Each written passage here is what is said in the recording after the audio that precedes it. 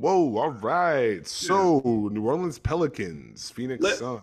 Let's get into the Pelicans Suns. Hey, you want to talk about these unders? Uh, Do you want to talk about these unders or not? Not the clap. Folks, the New Orleans Pelicans have looked at Chris Paul, and despite he had a brilliant game three where he did the Chris Paul playoff thing. Hey, I'm going to data collect for these 36 minutes, and then the fourth quarter, I'm just going to end you. And let me just tell you, that is one of the more en- annoying experiences you can have in playoff time because he's going to get to a spot, and there's not really much you can do about it. And he's hitting those shots, and now the, the game's over. And it's literally just five minutes of basketball where Chris Paul decided, yep, you're done. But game four, Game four is different. as well as games one and games two, Uh-huh. the New Orleans Pelicans looked at Chris Paul and said, hey, we're going to go under. And I'm intrigued every time they do it. Now, they got to be careful because there are some built in counters. If they're going to keep going this far under, Phoenix is just going to start rescreening and he's going to get elbow pull ups. But how do you feel about it, sir? uh, I guess to answer your question first, like I am a little bit intrigued by it. I'm intrigued by the under, and I think it works because they have Herb Jones on them, especially now with Devin Booker out. So now you are taking away the drive, which Chris Paul isn't getting to the rim a ton these days anyway, but you're cutting that off.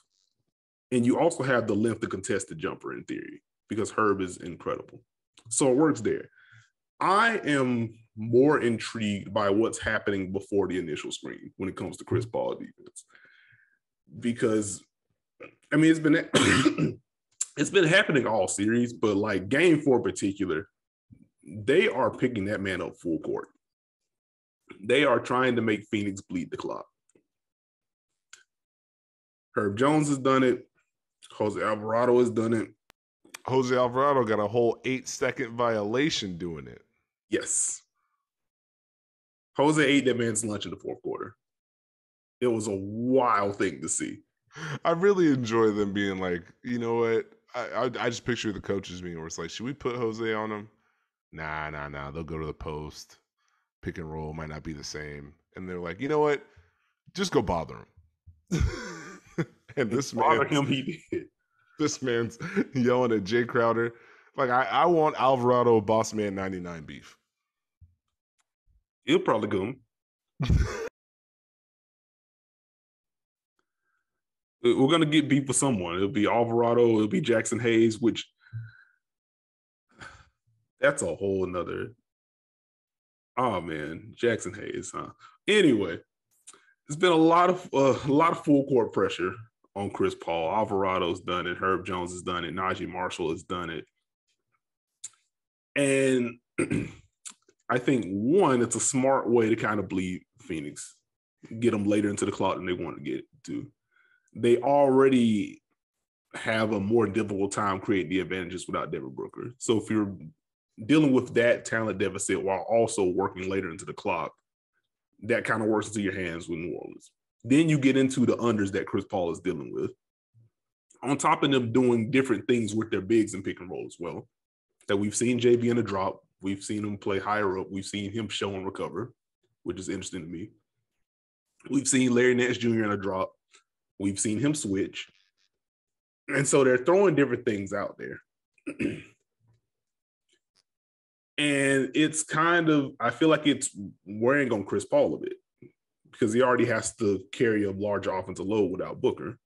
And so when you have him basically having to fight to bring the ball up court before getting into what you're going to get into, then you don't expect it to be as drastic as like a four point game like it was in game four.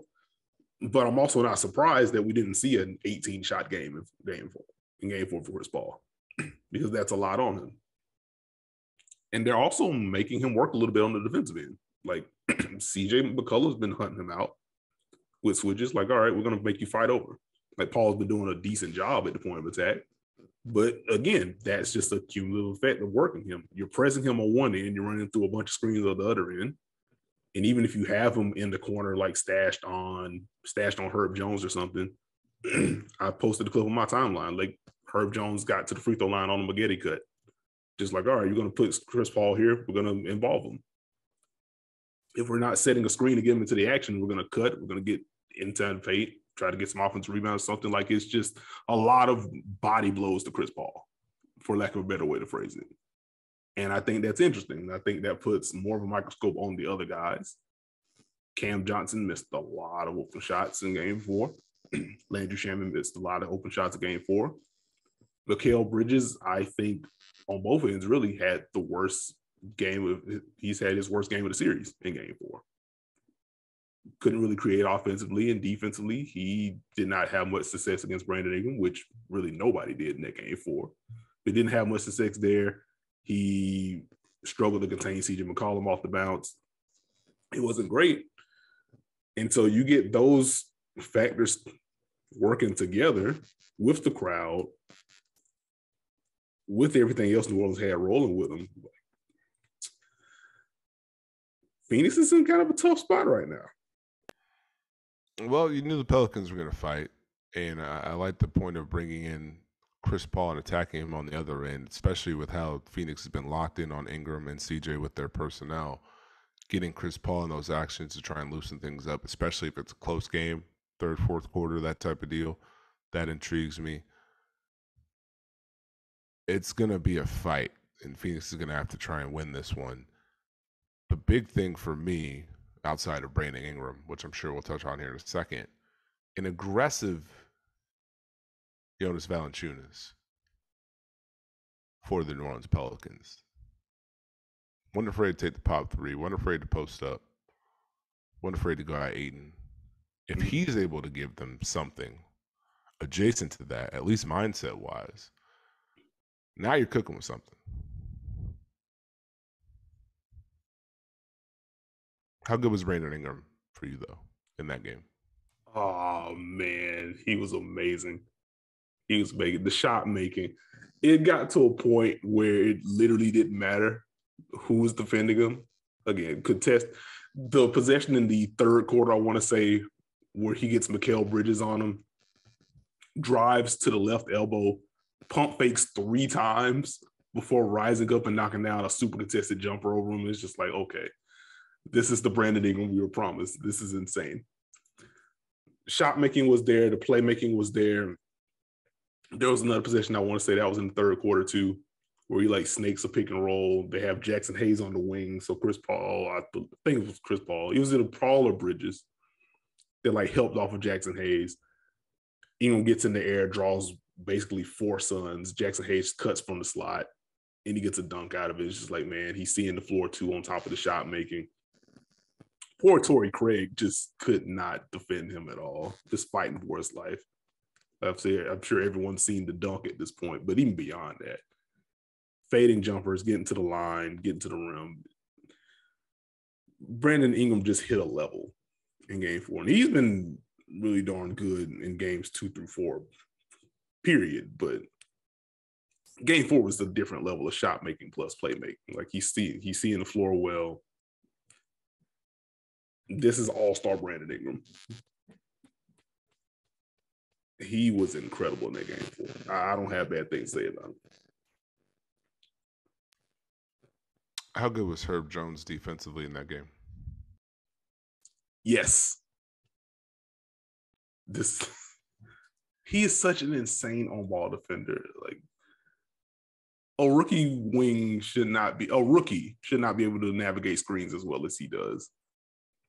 And for him to be able to do that, to be able to contest without fouling a ton, to have the awareness that he has off ball as well to where you can afford to be more aggressive elsewhere defensively and know like okay if herb has to split the difference on the weak side like he's fine. You're not passing the ball near him. He's going to pick it off. Or for herb himself like oh sure i can provide some help on this drive and if you kick it out to Cam Payne, i'm just going to block his three because the release point is low and i have wild range and a seven foot wingspan he just flies around. But it's also controlled chaos. Like he knows what he's doing. Like you look at what Matisse Thybulle was able to do as a rookie. And the way that he was able to fly around defensively. And you still had to worry about him like biting on pump fakes, or you'd have the random games where he's in foul trouble because he's doing a little bit too much, or he'll take the bad angle and pick and roll and he'll get back to with the contest. But you like, okay, he did take a bad angle. There's almost none of that with Herb Jones. He's not a perfect defender, but like you don't see the wild lapses for him. You don't see the foul trouble for him. Like he's already an elite defender as a rookie. Not even elite for a rookie. He is an elite defender, period. It's wild impressive. It is wild impressive. I agree. Some of the plays, he's just a complete madman. I, I can't top it better than you did. What's uh what's his defensive ceiling for you? This already feels like a setup. Um